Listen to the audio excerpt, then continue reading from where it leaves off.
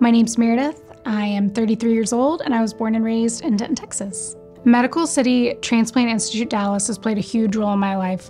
In 2017, I started getting extremely sick. I lost about 50 pounds in six weeks. I was struggling to breathe. My skin was gray. And I was diagnosed with an autoimmune disease called lupus. Lupus attacks some of your vital organs. It affected my kidneys, and ultimately, it led to me being on dialysis and then needing a transplant. It affected her every day. It was truly not a life that someone at 29 should be living. I had just decided I was done fighting.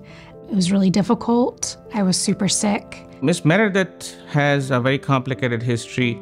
She had a very aggressive form of an autoimmune disorder called uh, lupus nephritis, which means that your own body makes too much antibodies which attack your own self. And part of the antibodies are directed towards the kidney. And she actually needed a kidney transplant as a life saving measure.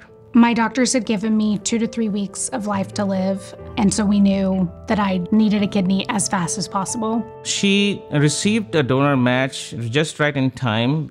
When you come to Medical City Transplant Institute, um, you are joining our family. We are with you from the start of your transplant all the way through, and often we follow you for life. We see you on such a regular basis that we really are like family.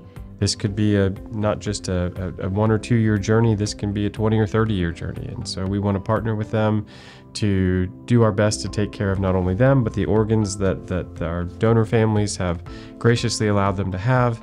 And, and I think we're, the team that we have is able to do a really good job with that. This is a true team sport. Nobody is getting a transplant without the very hard work that this team is doing, um, and that's every single member of this team is vital. Miss Benedict had her transplant um, exactly two years ago. I expected to have a normal span of life with a very good quality of life for time to come. Medical City Transplant Institute Dallas was exactly where I needed to be. They treat me like I am a member of their own family.